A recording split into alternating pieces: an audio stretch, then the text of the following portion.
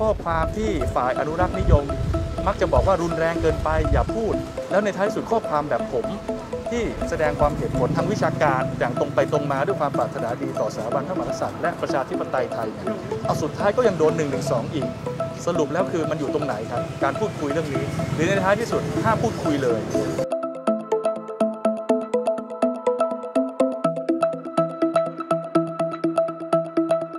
สำหรับผมเนี่ยเรื่องคดีที่ผมโดนเนี่ยมันไม่ใช่เรื่องของ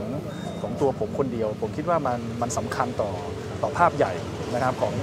เสรีภาพในการแสดงความคิดเห็นเหมือนกันนะครับผมคิดว่าทุกท่านคงจะยอมรับตรงกันแล้วว่าในยุคสมัยปัจจุบันเนี่ยมันมีความคิดนะฮะมีความคิดมีการแสดงออกของเยาวชนคนรุ่นใหม่นะจำนวนมากนะครับที่เกี่ยวข้องกับเรื่องการปฏิรูปสถาบันพระมหากษัตริย์นะฮะผมเองเนี่ยเล็งเห็นว่า เพื่อจะทำให้สังคมอยู่กันได้อย่างสันติ เพื่อให้ความเห็นทั้งฝ่ายต้องการปฏิรูป ฝ่ายไม่ต้องการให้ปฏิรูปนะครับหรือฝ่ายที่เฉยๆ ไม่ได้สนใจเรื่องนี้ก็ตาม สามารถอยู่กันในสังคมไทยได้อย่างเป็นปกติสุขอยู่ได้อย่างสันติเนี่ยมันควรจะต้องมีการพูดคุยนะครับในพื้นที่ที่ปลอดภัย นี่คือภารกิจที่ผมพยายามทำมาโดยตลอด ด้วยการแสดงออกทางสื่อสาธารณะต่างๆ ว่าเรื่องเหล่านี้มันสามารถพูดคุยกันได้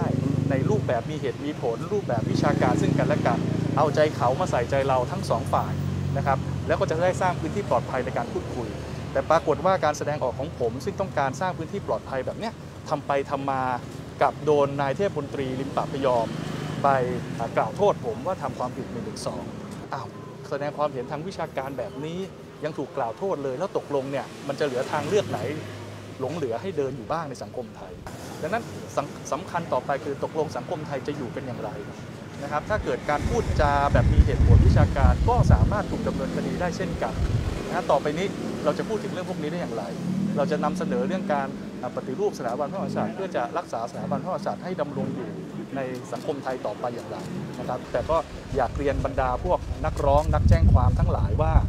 เวลาจะร้องจะแจ้งความเนี่ยให้พิจารณาเรื่องกฎหมายบ้าง นะครับ นี่คือการเอาผิดกันในทางคดีอาญา มันมีหลักกฎหมายอาญาอยู่ครับ มันต้องเข้าองค์ประกอบความผิดกฎหมายอาญามิใช่เอาจินตนาการของตัวเอง เอาความรู้สึกของตัวเอง รู้สึกนึกคิดไปเอง คิดเอาเอง แล้วก็เที่ยวมาแจ้งความ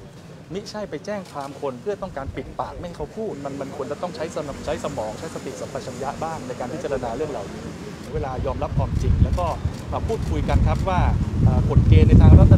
ธรรมนูญกฎเกณฑ์ในกฎหมายต่างๆ มันต้องเปลี่ยนแปลงต้องปฏิรูปอย่างไรเส้นทางที่ถูกต้องของสังคมไทยเนี่ยนะจะต้องหาพื้นที่ปลอดภัยในการพูดคุยกันเรื่องนี้นะครับอย่าอย่าปล่อยให้ให้มันไปสู่ทางติดตันจนวันหนึ่งเราเราเราแก้ไขปัญหาเรื่องนี้ไม่ได้